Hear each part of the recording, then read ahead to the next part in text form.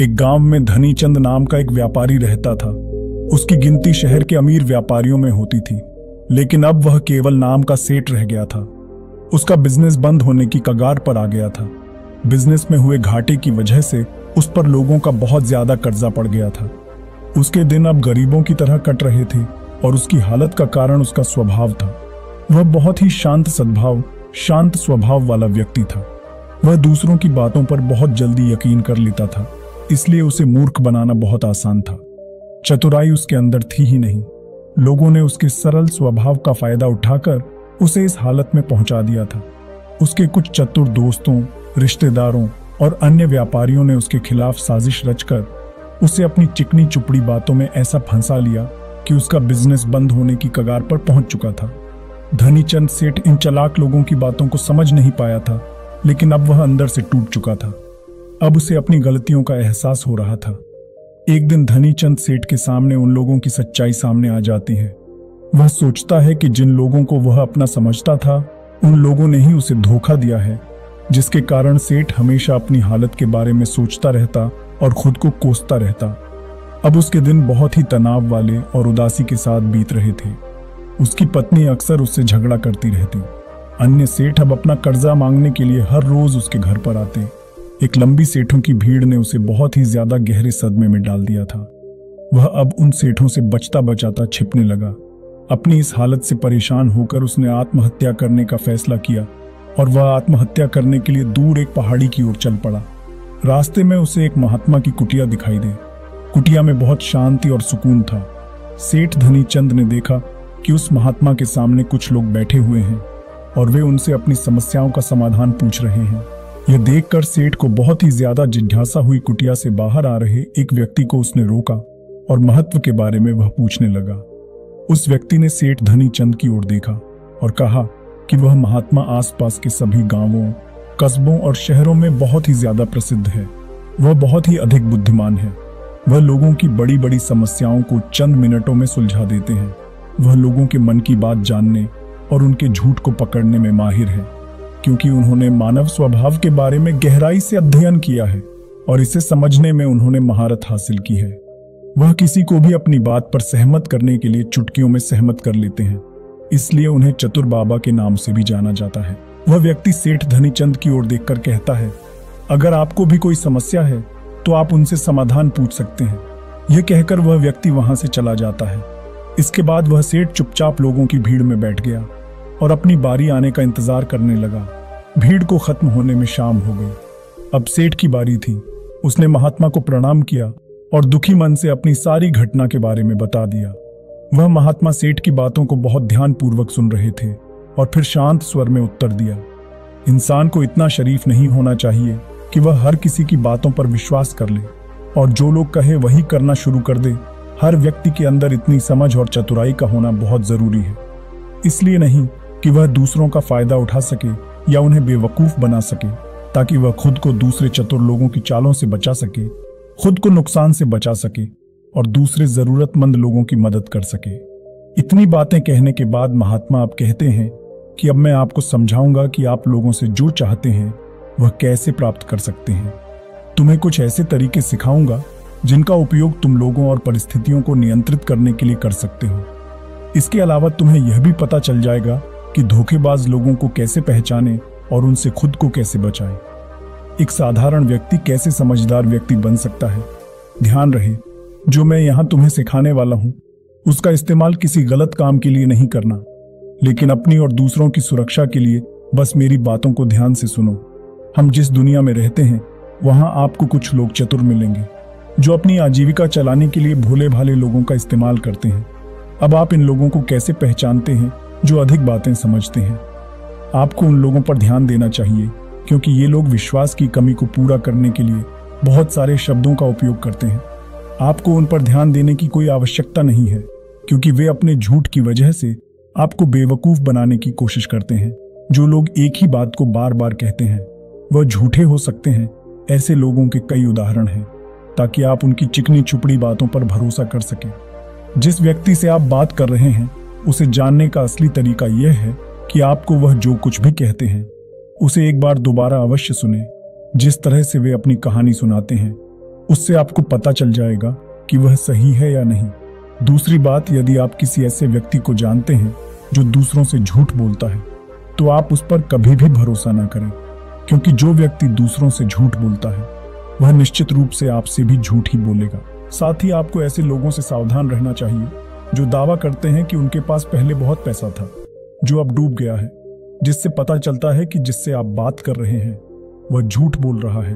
हाँ ऐसा हो सकता है कि एक बार उसके पास पैसा था, लेकिन अब वह है दिवालिया हो चुका है।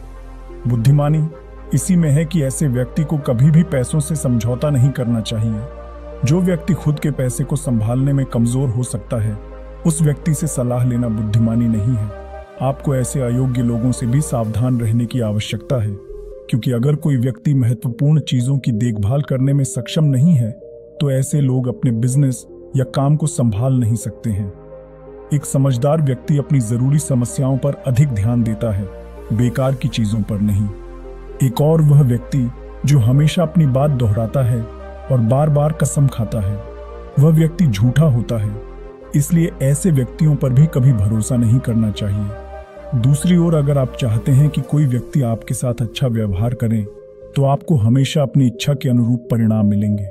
जो कि गलत है, आपको हमेशा एक बात याद रखनी चाहिए कि लोग वही चाहते हैं, जो उन्हें कभी नहीं मिल सकता। इसलिए अगर आप ऐसा चाहते हैं कि किसी काम को पूरा करने के लिए आप उसे बार बार करें और आप उसे हासिल कर सकते हैं, जो खुद फायर नहीं जा सकता, इसके लिए तुम्हें दो नियमों पर ध्यान देना होगा। पहला नियम जिस व्यक्ति को आप अपने वश में करना चाहते हैं, उसे वह दे जो वह चाहता है, या फिर जिसे वह हासिल करना चाहता है। दूसरा नियम, उस व्यक्ति को तब तक देखें। अब जब तक वह आपके नियंत्रण में आ जाता है तो देखिए, कितना दुख होता है। जब आप उसे वह देना बंद कर देते हैं जो वह चाहता है। जब भी आपको लगता है कि वह आपको हल्के में ले रहा है, इसलिए जो आपने उसे दिया था, उसे वापस ले लें। यह बात उस व्यक्ति को एक कमी और खालीपन का एहसास कराएगी। जिससे वह आपकी बात दोबारा सुनने को तैयार हो जाएगा। तीसरा नियम, जब कोई व्यक्ति ऐसा व्यवहार करता है, जैसे कि वह सब कुछ जानता है तो निश्चित रूप से आप एक ऐसे व्यक्ति से बात कर रहे हैं, जिसमें बुद्धि की कमी है। सच तो यह है कि जो व्यक्ति यह मानता है कि वह कुछ नहीं जानता, वह अंततः सबसे बुद्धिमान होता है और जीतता है। यदि आप अपने आसपास के लोगों और स्थितियों पर नियंत्रण रखना जानते हैं तो सबसे अच्छा तरीका विनम्र और नम्र होना है। इससे पता चलता है कि आप बाहर के लोगों से झगड़ा नहीं करना चाहते हैं। अपनी शारीरिक भाषा को विनम्र रखें। एक बार जब लोगों को पता चल जाए कि आप बहुत कुछ जानते हैं, आपकी सफलता और विफलता का उपयोग आपके विरुद्ध किया जाएगा। आपकी असफलता पर आपका अपमान होगा और आपकी सफलता पर लोग आपसे नफरत करने लगेंगे। और जब आप लोगों के सामने यह दिखाते हैं कि आप सब कुछ जानते हैं तो लोगों को समझाने की तरकीब अधूरी रह जाती है। लोग आप पर उनका उपयोग करने का आरोप लगा सकते हैं और वे आपको अपनी योजना के साथ आगे बढ़ने का मौका दिए बिना ही मना कर देंगे। लोग हमारे निर्दोष, अज्ञानी और विनम्र होने के कारण हम पर संदेह नहीं करते हैं कि हम उनसे काम ले रहे हैं। जो व्यक्ति अपनी भावनाओं और जज्बातों को छुपाने में माहिर होता है, वह दूसरे लोगों को आसानी से अपने वश में कर सकता है। जब लोगों को लगेगा कि आप विनम्र हैं और झगड़ालू स्वभाव के नहीं हैं तो वे आगे आकर आपकी मदद करना चाहेंगे। और शायद तब वे आपको अपने बारे में जानकारी देंगे, जिसका उपयोग आप उन्हें नियंत्रित करने के लिए कर सकते हैं।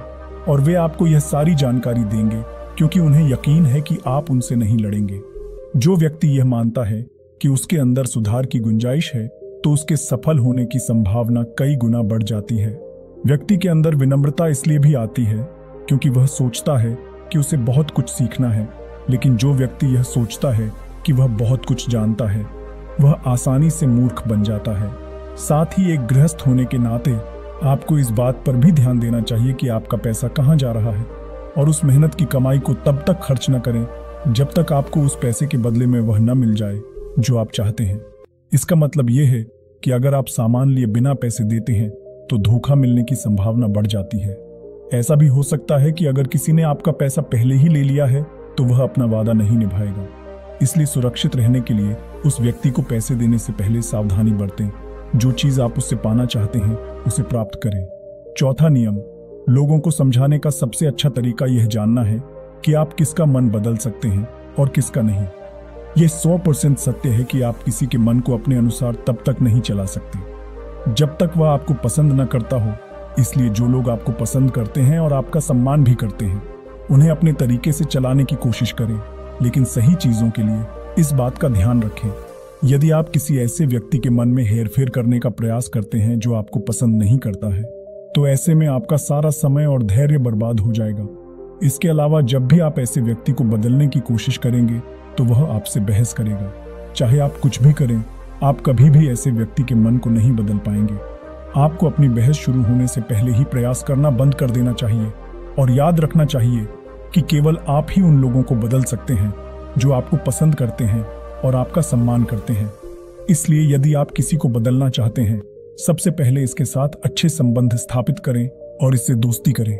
इतना कहकर महात्मा कुछ देर रुके और फिर आगे कहने लगे, अब मैं तुम्हें कुछ ऐसी तरकीबें बताऊँगा, जिनका प्रयोग करके चतुर और धोखेबाज लोग दूसरों को मूर्ख बनाते हैं और उनका गलत इस्तेमाल करते हैं। पहला तरीका जब किसी चतुर व्यक्ति को अपना काम निकालना होता है तो वह अपने इरादे पूरी तरह छिपा कर रखता है। अर्थात, वह झूठ बोलता है। सबसे महत्वपूर्ण बात छिपाता है और केवल उतना ही कहता है जितना वह चाहता है। दूसरा तरीका एक व्यक्ति जो चतुर है, दूसरों को गुमराह करना चाहता है। वह जितना संभव हो, उतना ध्यान अपनी ओर आकर्षित करना चाहेगा। क्योंकि इस तरह वह किसी समूह का सबसे महत्वपूर्ण हिस्सा बन सकता है। दूसरे लोगों को गुमराह कर सकता है या अपने फ़ायदे के लिए आपके कमरे का इस्तेमाल कर सकता है। तीसरा तरीका जो व्यक्ति लोगों को गुमराह करता है, वह अच्छी तरह से जानता है कि लोगों की भावनाओं के साथ कैसे खेलना है। वह अलग अलग मौकों पर अपने लाभ के अनुसार अलग अलग भावनाएँ व्यक्त करता है, लेकिन केवल दिखावा करने के लिए कभी कभी वह बहुत क्रोधित होगा कभी कभी वह बहुत विनम्र होगा कभी कभी वह बहुत मिलनसार होगा, और कभी कभी वह बहुत उदास रहेगा। जिस व्यक्ति से उसका काम निकलेगा वह उसके साथ वैसा ही व्यवहार करना शुरू कर देता है। चौथा तरीका धोखेबाज व्यक्ति सिर्फ़ अपने लिए सभी की सहानुभूति पाने की कोशिश करता है। सभी उसे सबसे गरीब समझते हैं। उसे इस बात से कोई फ़र्क नहीं पड़ता कि आपकी समस्या कितनी बड़ी है। आपको हमेशा यह महसूस कराएगा कि उसकी समस्या आपसे बड़ी है और वह आपसे ज़्यादा परेशानी में है। इसलिए आपको उस पर दया करनी चाहिए और उसकी मदद करनी चाहिए। पांचवा तरीका एक चतुर व्यक्ति जो आपको नियंत्रित करना चाहता है। उसकी अपनी इच्छा के अनुसार आपको यह सोचने पर मजबूर कर देगा कि वह आपके जीवन का सबसे महत्वपूर्ण व्यक्ति है। आप इसके बिना काम नहीं कर सकते, लेकिन वास्तव में ऐसा नहीं होता है। वह आपको सिर्फ़ यह आश्वासन देता है कि आप उसके बिना जीवन की कल्पना नहीं कर सकते हैं। इस तरह, जितना अधिक आप उन पर निर्भर होते जाते हैं, उतना ही अधिक उनका आप पर नियंत्रण बढ़ता जाता है और वे आपसे अपना काम करवा लेते हैं। छठा तरीका एक चतुर व्यक्ति हमेशा यह कोशिश करता है कि किसी भी बड़े काम का श्रेय हमेशा उसे ही मिले। तारीफ़ तो उसकी ही होनी चाहिए, चाहे कोई कुछ भी करे, लेकिन तालियाँ सिर्फ़ उसके लिए हैं। इसलिए वे ज़्यादा से ज़्यादा लोगों का ध्यान अपनी ओर आकर्षित करना चाहते हैं। अधिक से अधिक लोगों को अपने साथ जोड़ने के लिए चतुर लोग अक्सर सबसे कठिन काम दूसरों को सौंप देते हैं और आसान काम अपने पास रख लेते हैं, लेकिन सारे काम का श्रेय खुद लेने की कोशिश करते हैं। सातवां तरीका एक धोखेबाज आपका सबसे अच्छा दोस्त होने का दिखावा करेगा। वह दिखाएगा कि आपका उससे बेहतर दोस्त नहीं हो सकता। इस तरह से आपके सभी रहस्य जानने की कोशिश करेगा और गलत पर समय वह उनका उपयोग आपके खिलाफ करेगा। इसलिए अपने रहस्य बताने से पहले टेन बार सोचें, क्योंकि दुनिया में सबसे खतरनाक चीज़ एक धोखेबाज दोस्त है। इसलिए यह पहचानना सीखें कि कौन दोस्त है और कौन नहीं। आठवां तरीका अधूरी जानकारी दें। एक धोखेबाज व्यक्ति आपको केवल उतनी ही जानकारी देगा, जितनी वह आपसे जानना चाहता है। कारण, क्योंकि वह चाहता है कि आप सिर्फ़ ये बातें जानें, वह कभी भी आपके साथ पूरी बातें साझा नहीं करेगा। वह सबसे महत्वपूर्ण चीज़ें छिपाएगा, ताकि समय आने पर वह उनका उपयोग कर सके और सारा श्रेय ले ले या अपना काम पूरा करवा सके। नौवा तरीका, एक चतुर व्यक्ति कभी भी अपनी बात पर कायम नहीं रहेगा। समय आने पर वह अपनी बात से मुकर जाएगा। इसका कारण कुछ भी हो सकता है। या तो वह चाहता है कि आप ऐसा न करें, या वह जानबूझकर ऐसा कर रहा है। ये उसकी इच्छा पर निर्भर करता है। दसवां तरीका वे ऐसा दिखावा करते हैं, जैसे उन्हें कुछ भी पता नहीं है। वे सबसे निर्दोष हैं। हालाँकि उन्हें उस समय उस घटना के बारे में सब कुछ पता है, लेकिन फिर भी वे आपके मुँह से सब कुछ सुनना चाहेंगे। क्योंकि कल को अगर उनके मुँह से कुछ ऐसी बात निकल गई, जो नहीं कहनी चाहिए थी तो वह आपका नाम ले सकते हैं। कि उसने मुझे बताया या वे निर्दोष बने रहे, ताकि वे अपनी जिम्मेदारियों से बच सकें। जितना उन्हें मिल सकता था, उससे अधिक काम के बोझ से दूर रहे। वे जानबूझकर ऐसा करते हैं, ताकि कोई उन पर ध्यान न दे, और वे महान चीज़ों से बच सकें। ग्यारहवां तरीका दूसरों पर उंगली उठाना या दोष देना। एक चतुर व्यक्ति हमेशा अपने हाथ खाली रखना चाहेगा, अर्थात उसे कोई कड़ी मेहनत या अधिक ज़िम्मेदारी नहीं निभानी पड़ेगी। इसलिए वह दूसरों पर उंगली उठाता रहता है। कि मुझे यह काम ठीक से नहीं आता। वह इस बात को भली भांति जानते हैं। यह दूसरी स्थिति यह आती है कि कहीं ना कहीं उनकी पोल खुल जाती है या इज़्ज़त सामने आ जाती है। फिर भी वे अपनी गलती का दोष दूसरों पर डाल देते हैं। बारहवां तरीका एक धोखेबाज हमेशा झूठी तारीफ़ करेगा। वह केवल वही कहेगा जो दूसरा व्यक्ति उससे सुनना चाहता है और वह ऐसा तब तक करेगा जब तक उसका काम पूरा ना हो जाए। इसके बाद वह लोगों के सामने उसी व्यक्ति की आलोचना करेगा और उसकी कमी को दूसरे लोगों के सामने ज़ाहिर करेगा। तेरहवा और आखिरी तरीका बताते हुए महात्मा कहते हैं, ऐसा व्यक्ति जो अपने फैसलों को नियंत्रित करने की कोशिश करता है, सबसे पहले एक धोखेबाज और चालाक व्यक्ति बनने की कोशिश करेगा। आपका सबसे अच्छा दोस्त और शुभचिंतक, उसके बाद जब उसे विश्वास हो जाएगा कि आपने उस पर आँख मूंद कर भरोसा करना शुरू कर दिया है तो वह आपके फैसले खुद लेने की कोशिश करेगा। वह आपको यह महसूस कराएगा कि उसने आपके लिए जो फैसले लिए हैं, उससे आपको फ़ायदा होगा। चतुर व्यक्ति को फ़ायदा होने वाला है। तो ये थे वो तरीके जिनसे आप लोगों को अपनी बात मनवाने के लिए इस्तेमाल कर सकते हैं और चतुर और धोखेबाज की पहचान कर सकते हैं। इन तरीकों का पालन करके आप उन सभी लोगों से बच सकते हैं। धनी चंद सेठ को सभी प्रश्नों के उत्तर मिल गए। उन्होंने महात्मा को उनके बहुमूल्य जानकारी देने के लिए धन्यवाद प्रकट किया और अपने घर वापस लौट आए। इसके बाद धनी चंद सेठ ने बहुत मेहनत की और इस कहानी में बताए गए नियमों का पालन किया। इसके बाद वह फिर से एक अच्छा व्यापारी बन गया। उम्मीद है आपको इस कहानी से एक अच्छी सीख मिली होगी। ये कहानी आपको कैसी लगी हमें कमेंट करके ज़रूर बताइए और इस कहानी को अपने दोस्तों को भी ज़रूर शेयर करें ताकि उन्हें भी इस कहानी से कुछ सीखने को मिल सके। और हमें सब्सक्राइब ज़रूर करें। तो चलिए मिलते हैं अगली कहानी में एक और नई सीख और नए मैसेज के साथ। धन्यवाद।